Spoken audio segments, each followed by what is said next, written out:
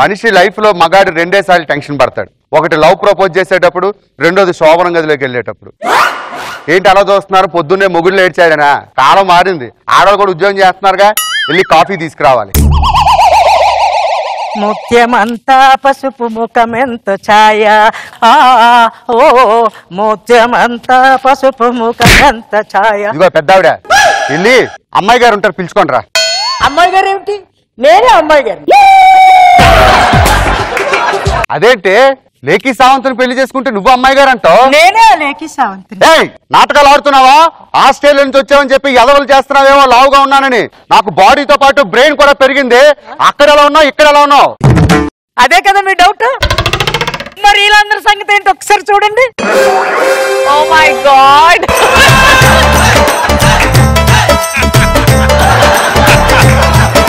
అన్యాయం. అంటే రాత్రి జరిగిందంతా ఓ పీడకలను మర్చిపో. రాత్రంతా పువ్వును నలిపినట్టు నలిపేసేసి ఇప్పుడేమో పీడకలు అంటారేమిటి? నేను నా మన్మథ బాణంతో తేనె తుట్టను కొట్టాను అనుకున్నానే నిన్ను చూసాక తెలిసిందే అవుటర్ రింగ్ రోడ్ దగ్గర ఆగి ఉన్న లారీని గుద్దానని. ఏమండి? అసలు నాకు తెలియక అడుగుతాను కానీ మా నాన్నగారు నేను మిస్ ఇండియా పోటీకి వెళ్తాను నాన్న అంటే. కారులో తీసుకుని వెళ్ళి నాకు క్యాట్ వాక్ నేర్పించారు. ఏటి నీ ఎదో మోకానికి కేటవాక్ కూడానా? మరి? ఏదో ఒకసారి చేసి చూపించు. ఎలా ఉంది నా క్యాట్ వాక్ క్యాట్ వాక్ చేసినట్లేదే. ఆ. కోడి గుడ్డు పెట్టడానికి జాగా ఎత్తుకున్నట్టుంది ఇదిగో నీకి నాకు జరిగింది పెళ్ళి కాదు రాత్రి జరిగింది శోభనం కాదు. అదొక పేడకాలని మర్చిపో. ఎలా మర్చిపోతాను నేను అమ్మా. ఏమండి మీరు ఇదే మాట మీద ఉంటే మాత్రం నేను ఎలాగ వెళ్ళి పోలీస్ స్టేషన్లో కంప్లైంట్ ఇస్తాను? అయ్యో ఇప్పుడు పో- ఏమండి ఎక్కడ ఏడుపు వినిపిస్తుందండి? పక్కింట్లో అనుకుంటా ఇల్లు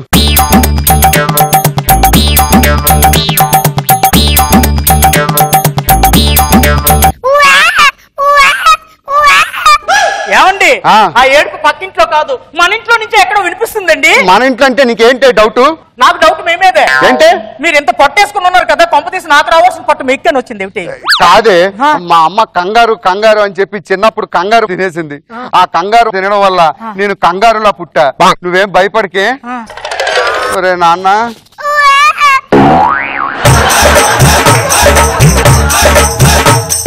ఏమిటండి ఇది? ఆస్ట్రేలియాలో ఎవరో పిల్లనివ్వట్లేదని చెప్పి. ఇండియాకి వచ్చి నేను పెళ్ళి చేసుకున్నా. తీరా చూస్తే నువ్వు షష్టి పూర్తి చేసుకోవాల్సిన వయసులో నన్ను పెళ్ళి చేసుకుంటావే ముసల్దానా?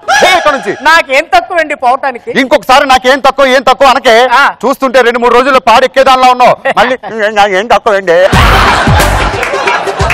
సర్లే గాని మొదటి రాత్రి అయిపోయింది కదా మీరు తొందరగా స్నానం చేసి వచ్చేస్తే మనం ఈ రెండో రాత్రి రోజు పోసిండి ఆట ఆడుకోవాలన్నమాట. పోలచెండాట అంటే ఏంటి? అంటే నేను పువ్వులు మీ మీద విసురుతాను. మీరు నా మీద విసురుతారు. ఏమండి? మీరు అలా నా మీద పువ్వులు విసురుతుంటే మీకు ఏమనిపిస్తుందో చెప్పండి? శవయాత్రలో శవం మీద పూలు చల్లినట్టు అనిపిస్తుంది. ఇదిగో ఆ. నీకు విషయం చెప్తా. పోలీస్ కంప్లైంట్ అవి ఇవ్వకు. ఓ పని చేయి. మా తమ్ముడికి ఒక మంచి అమ్మాయిని సెట్ చేసావు అనుకో. అదే మా వాడికి. మన ఇద్దరు హ్యాపీగా కాపురం చేయొచ్చు. వేరే అమ్మాయిని ఎందుకండి సెట్ చేయటం? నా చెల్లె ఉన్నదండి. అది నీలో సీకేసిన టెంకాయలా ఉంటదిగా? కాదండి దాని పేరు నాకి సెవెంత్? ఆస్ట్రేలియాలో చదువుకొని వచ్చిందండి. అర్జెంట్గా పిలిపించు. నాకి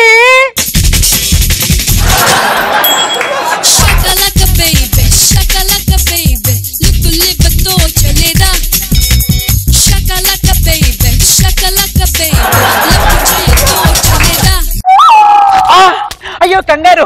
ఐ లవ్ యూ కంగారు. ఐ లవ్ తోకి ఇది. చెల్లి! కంగారు కాదే? ఆయన మీ బావగారు. ఏంటే నీ పేరు నాకి సావంత? నాకి సెవెన్ చిచ్చే పోటీలో పరసలు అమ్ముకునే దానిలో ఉంది ఇది నాకు నచ్చలే. అవును మీరు ఎక్కడ ఉంటారు ఆస్ట్రేలియాలో? ఆ, మెల్బోర్న్లో ఉంటాం నువ్వెక్కడ ఉంటావు ఆస్ట్రేలియాలో? కిడ్నీలో. ఎడదే కిడ్నీ కిడ్నీ. సిడ్నీ కాదే నీ.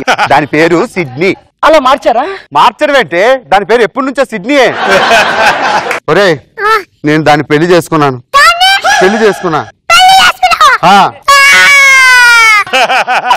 పాతికేళ్ళుగా ఎంతో నిగ్రహంగా దాచుకున్న నా యవ్వనాన్ని హారతి కర్పూరంలా కరిగిచ్చేశాడే నీకు అర్థం కావట్లేదురా. ఏటా ఇప్పుడు నేను ఆ ముసల్దాన్ని చేసుకోను కాబట్టి ఇది చూస్తే ఎలా ఉందో తాడు డబ్బాలాగా. ఒక చూస్తే వాంతికి వస్తుంది రాజు ఏ, నాకేంటి చాలా స్మార్ట్ చలి చలి వచ్చేటట్టుంది ఎందుకే పిల్లని భయపెడుతున్నావు. దానికి ఏం తక్కువరా? ఎంత అందంగా ఉందో చూడు.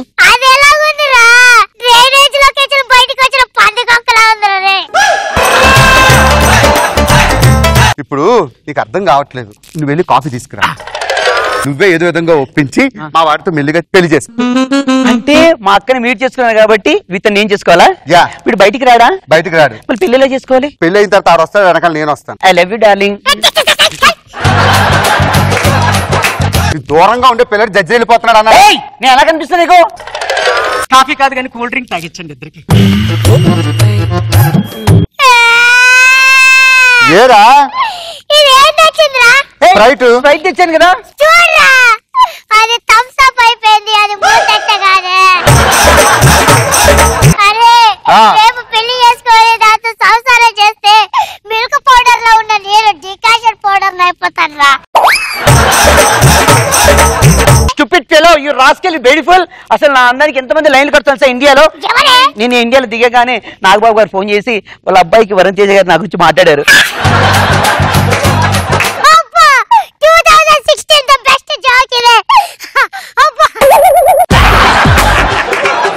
నువ్వే పెళ్ళి చేసుకోవచ్చా బాబు.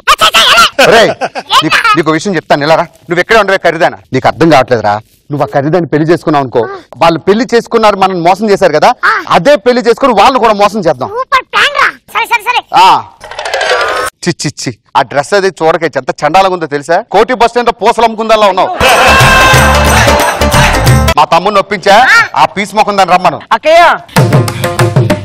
మీ ఇద్దరికి పెళ్ళి చేద్దామని దండలు కూడా రెడీ చేసేసాను. ఓ థ్యాంక్ యూ అక్కయ్య. ఓకే. అదేంటి బాబా నువ్వేస్తున్నావు? ఇంజిన్ ఆడికి ఇచ్చి స్టీరింగ్ నాకు ఇచ్చాడు.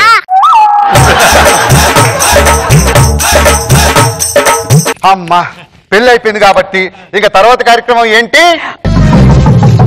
మీ ఇద్దరికి వచ్చి ఫస్ట్ పెళ్ళైంది కదా సినిమాకి వెళ్తాం బాబా సినిమాలు గినిమాలు కుదరు ఎందుకు? Direct first night property property పెట్టాడా? పెట్టలేదు కదా. మరి ఎందుకు వేసావు డైలాగ్ అవును బా- మర్చిపోయాను. పద వెళ్దాం మీరు ఎక్కడికి వెళ్ళిపోతున్నారండి పదా వెళ్దాం అని చెప్పేసేసి ఓసి నీ ముసలి టెంకు మొఖం దానా. రాత్రి నీకు శోభనం అయ్యేటప్పుడు నేను ఉన్నానా ఉన్నారు. నాతో పాటు ఎవడున్నాడు వీడు ఉన్నాడు ఏ, మరి ఇప్పుడు వీడికి శోభనం అవ్వాలంటే ఎవరు ఉండాలి ఏయ్! అసలు నువ్వు ఎలా తీసుకెళ్తావే ఏయ్ నువ్వు ఎలా తీసుకెళ్తావే నేను ఇవ్వను వాడు నా వాడు. మా ఆయన్ని నేను ఇవ్వను ఇవ్వను. ఏమిటే! నువ్వు తీసుకొని! నేను. ఆస్ట్రేలియాకి రెండు గంటల్లో ఫ్లైట్ ఉంది.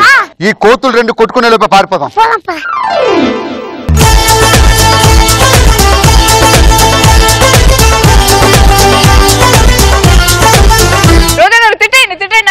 నరేషన్ చూస్తే తిట్టబుద్ధి కాలేదు. అవును. నిజంగా చాలా కష్టం భాస్కర్. అసలు జిప్ తీసి తలకాయ డింగర్ బయటకు రాగానే నాకు బలం వచ్చేటేసింది. భలే ఉన్నారా? డైలాగ్ ఓన్లీ ఫేస్ ఎక్స్ప్రెషన్స్ ఇరగ తీసావు.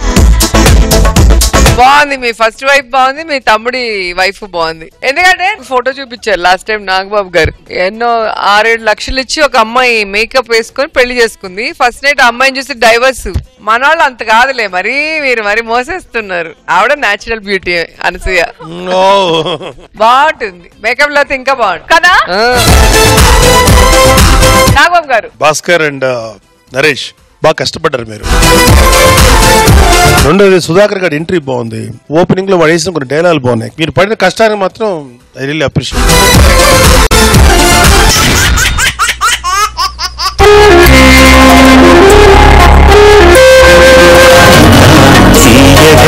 చల్లగా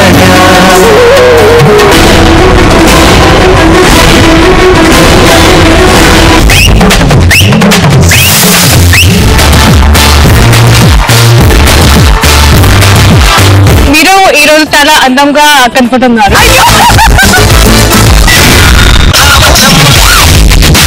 ఈ జనరేషన్ మీరు చేసిన song super duper.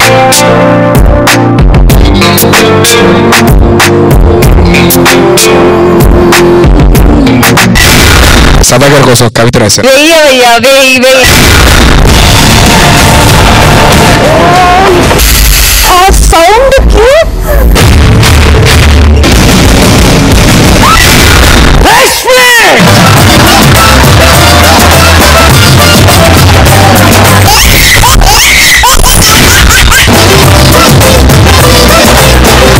I love you ఏమంటుంది